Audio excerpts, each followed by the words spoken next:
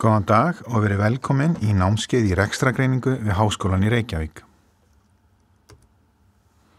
Í þessum kabla eru námsmarkmiðin eftirtalin að greina á milli rekstrar og fjárhagsbókals, að greina kostnaðan hluta framleiðslu vara, að skoða áhrif flokkunar, að aðgreina framleiðslu kostnaða frá upstream og downstream kostnaði, að skoða mismunandi meðhöndlun á kostnaðaverði milli þjónustu, verslunar og framleiðslu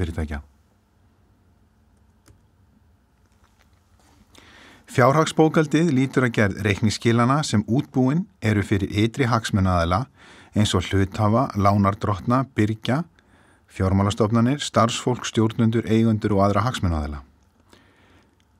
Fjárhagsbókaldi er ætlað að gefa góða mynd að rekstri fyrirtækis yfir ákveði tíambil á ákveðinu tíma. Ásreikningu fyrirtækis innheldur rekstrareikning, efnaðisreikning og sjóstreymi. Fjárhagsbókald þarf að uppfylla ytri reglur til dæmis alþjóðlega reikningsskilastadla og lagaskildur eins og lögum ásreikninga.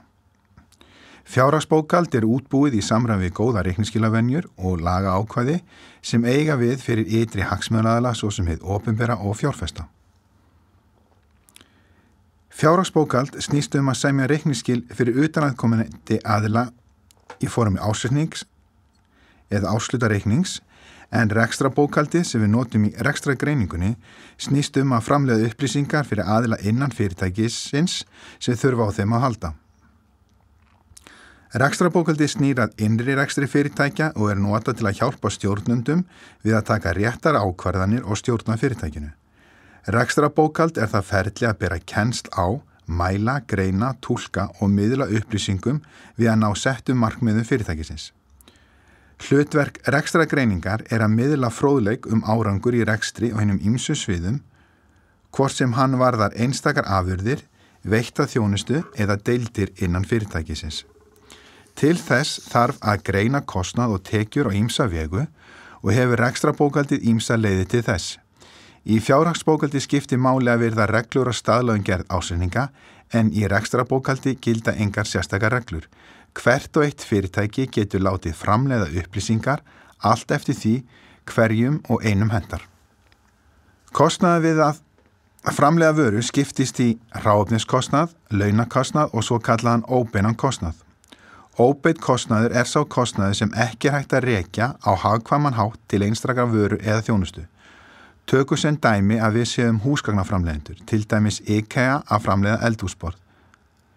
Timbur í borðin væri þá ráöfni, það er beitt kostnaður og vinnulaun húsgagnasmiðsins einnig beitt kostnaður. Annar kostnaður við framleysluna sem ekki var eftir að rekja með hagkvamum hætti væri óbeitt kostnaður. Þar getur við nefnt kostnað svo sem húsnæðiskostnað og afskriftir framlýslutækjana. Þegar við reiknum framlýslukostnað vöru sem við erum að framlega í magni samanbyr IKEA eldhúsborðin og munið að framlýslukostnaðu samastendur að ráöfnum, launum og óbunum kostnaði notustu við gerðnan við meðal framlýslukostnað því það er ekki raunhæft að greina nákvæmann kostnað fyrir hvert stykki. Við tökum heildarframlöslu kostnað og deilum í hann heildarframlöslu magninu og fáum út meðal framlöslu kostnað á einingu. Í dæminu hér þá er framlöslu kostnaðurinn 250 dólarar per stykki.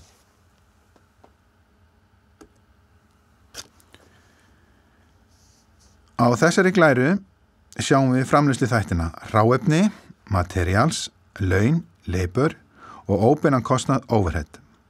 Samtals er framlýstu kostnæðurinn við að búa til þessi fjögur eldúsborð 1000 dólarar. Kostnæður getur verið framlýstu kostnæður, prótutkost eða tíambilskostnæður, periódkost. Framlýstu kostnæður ásist að í framlýstu ferlinu, ráefni, laun og óbeitt kostnæður. Þessi kostnæður er ekki að skapa tekjur, að minnstakosti ekki enþá. Hann er hins vegar að búa til vörur, byrðir sem eru eikverðar. Þegar þessa vörur eru seldar verða til tekjur og kostnaðverð varanna sem hafa verið í byrðum, það er inn á lagar fyrirtækisins, verða að kostnaðverði seldra vara sem eru gjöld í rekstrunum. Sem sagt, umbreyting við söluna á vörunum er vörunótkun eða kostnaðverð seldra vara, koks eða kost og gút sold. Mismunu sölutökna og kostnaðverð seldra vara er brútt og ágóðir ekstri, það er álegningin af vörusölunni. Tímabilskostnaður stendur bak við teki öflun á hverjum tíma og er gjaldfærður í rekstunum þegar til hans er stopnað. Tímabilskostnað má alls ekki eikfara á sama hátt og framlýslu-kostnaðin. Það myndi skekkja reikningskilin.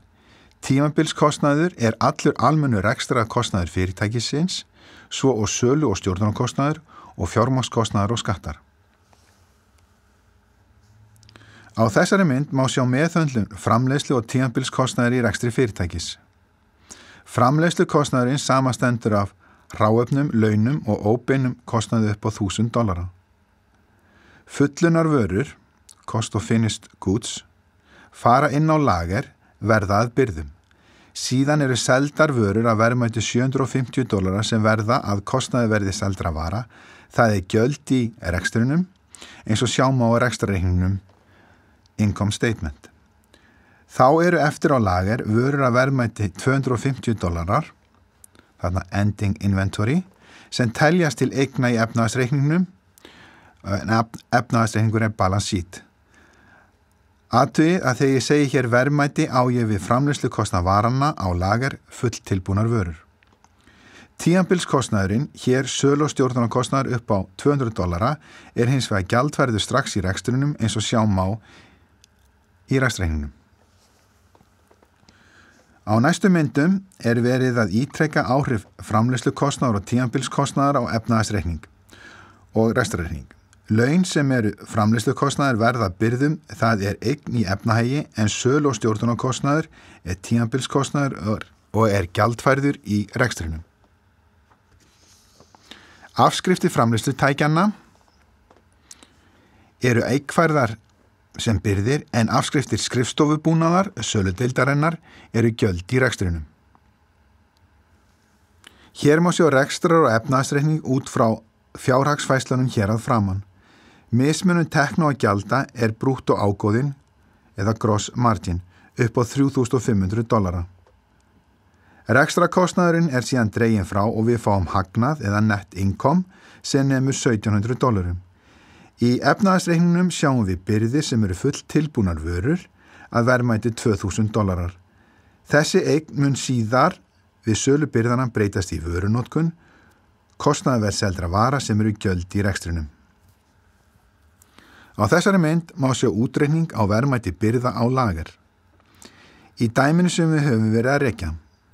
Framlegslu kostnæðurinn samanstendur að ráefni, launum og óbyrnu kostnæði samtal 6.000 dólarar, vörur að andveri 4.000 dólarar voru seldar þannig að á eftirstanda vörur að lager að verðmætti 2.000 dólarar. Óbeitt framlegslu kostnæður er kostnæður sem erfittir að rekja með hagkvæmum hætti á tiltekna vöru að þjónustu. En hvernig útdeilum við þá óbeina kostnanum á vöru eða þjónustu? Tökum sem dæmi, vinnudagur er 8 klukkutímar. Á einun degi framlefum við eitt stól og eitt borð. Það tekur eitt starfsmann tvær klukkustundir að búa til stólinn en 6 tíma að búa til borðið. Óbeitt kostnar á dag eru 120 dólarar. Sem fyrr segir er ekki hægt að rekja óbeina kostnaðinn beint á vöru en það er ekki ólíklegt að því meiri tíma sem það tekur á framlega vöru að hún takir til sín meira af óbyrnum kostnaði. Því væri skimsanlegt í okkar dæmi að útlita þessum óbyrnum kostnaði upp á 120 dollara á framlegslu vörunar okkar, borð og stól, sangvænt þeim vinnutímum sem það tekur á framlega þær. Við reiknum því stöðul allocation rate með því að deila vinnutímun dagsins sem 8 klukkutímum upp í óbeina kostnadagsins 120 dólarana og fáum út stuðilinn 15 dólarar per vinnutíma. Þannig útlutum við 30 dólarum á stólinn, það er 15 dólarar sinu 2 tímar og 90 dólarum á borðið eða 15 dólarar sinu 6 tímar.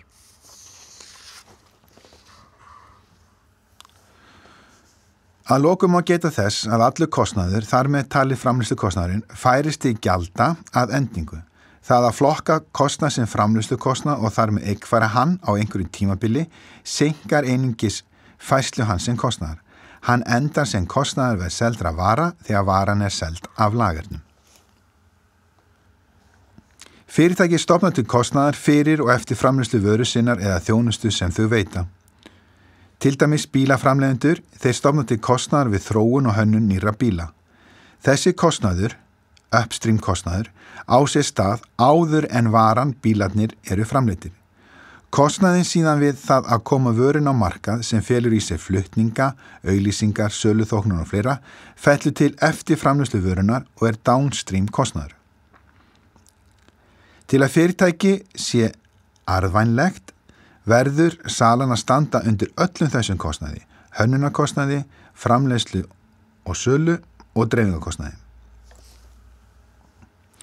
Til að standa sig í samkeppni á markaði er grunnforsenda að vita framlegslu kostnað vöru eða þjónsusinnar.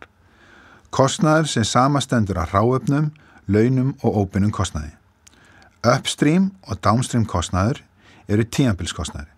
Tíambilskostnað ber að gjaldfæra þegar til hans er stopnað, hann á alls ekki að ekkfæra á einhver tíampundi líkt og gert en með framlýslu kostnað. Fyrirtækjum er skipt í mismjöndi flokka eftir því hvort þau eru þjónustu fyrirtæki, verslunarfyrirtæki eða framlýslu fyrirtæki. Megin munur framlýslu fyrirtækis og fyrirtækis í þjónustu er að þjónustu fyrirtækið heldur enga byrðir, heldur afhendur þjónustuna um leið og hennar er neitt af kaupanda. Dæmum þjónustu fyrirtæki eru veitingastæðir, fatarheinsanir, lögmástóður og leikskólar. Verslunarfyrirtæki eins og smásölufyrirtæki og heildverslanir selja tilbúnar vörur af lager. Mismunur framlöstu fyrirtækis og verslunar er að framlöstu fyrirtækið heldur þrjá byrðalagera, ráðnislager, vörur í vinslu og fullt tilbúna vörur en verslunarfyrirtækið aðeins einn fullt tilbúna vörur enda standa þau ekki neittni framleyslu. Á sama hátt og framlýslu fyrirtæki stopnar verslunin og þjónustu fyrirtæki til launakostnar og óbeinskostnar. Hann er hins vegar ekki ekkfærður meðal byrða heldur gjaldfærður þegar til hans er stopnað enda tíanbilskostnaður. Ef við lítum nú að dæmi Exercise 1.9b þá eigum við þar að reikna framlýslu kostnað út frá upplýsingum um kostnæðliði. Framlýslu kostnaður samastendur af beinu efni, beinu launum og óbeinum kostnaði. Hér er óbynning kostnæðurinn afskrifti framlýstutækjana 2500 dólarar. En laun stjórnand og sölumanna svo og afskriftir skrifstofutækja eru dæmum tíanbilskostnað og teljast því ekki til framlýstukostnæðurins sem er samtalsað uppæð 16.300. Næst á að rekna verðmætti byrða í loki janúar. Okkur er gefið að framleitt magni janúar séu 5.000 stykki og þar af hafi selst 4600 stykki í mánuðinum. Það þýðir að á lager í lókmánaðarins eru 400 stykki til af vörunni. Við reiknum síðan kostnaðverfið stykki með því að deila framlýslu magninu, þessum 5000 stykkjum, upp í framlýslu kostnaðin og fáum að kostnaðverfið stykki er 3,26. Verðmæti byrðana eru markfældiða magninu og verð per stykki eða 1304 dólarar. Á sama hátt reiknum við svo kostnaðaverð seldravara og segjum sölumagni sinni framlistu kostnaði per stykki og fáum 14.996 dólara. Að lokum langar mig að fara stuttlega yfir ferilin í framlistu fyrirtæki. Það er ferilin frá framleiðslu til vörunótkunar og bera saman við smásölu fyrirtæki. Það er fyrirtæki sem kaupir full tilbúna vörur til endursölu. Fyrst sjáum við þar það jöfnu framliðslu kostnaðar fyrir framliðslu fyrirtæki. Hana eigi þið nú að þekka eftir umfjöllununa hér að framann. Framlegslu kostnæðurinn færi síðan inn í jöfnuna verki vinsli eða vaff í vaff. Eins og sérst á jöfnunni myndar hún kostnæðaverð framleitarvara og færist inn í jöfnuna fyrir kostnæðaverð seldravara. Eins og sjáum á er því talsverðu munur að framkalla vörunótkun Það er kostnæðverð seldra vara í framlýslu fyrirtæki og smásölu fyrirtæki sem aðeins heldur utanum full tilbúna vörur til endursölu. Þessi munur sérst glögt í yfirleiti egna í efnaðsreikningi fyrirtækjana. Framlýslu fyrirtæki heldur þrjá byrðarreikninga, hráöfnislager, verki vinslu og byrðir fullirinn að vara en smásölu fyrirtæki heldur bara lager yfir full unnar vörur. Til glöggunar er hér síðan dæmi með tölum. Ég vona því að hafa gagnað þessari samantækt. Gangi ykkur vel.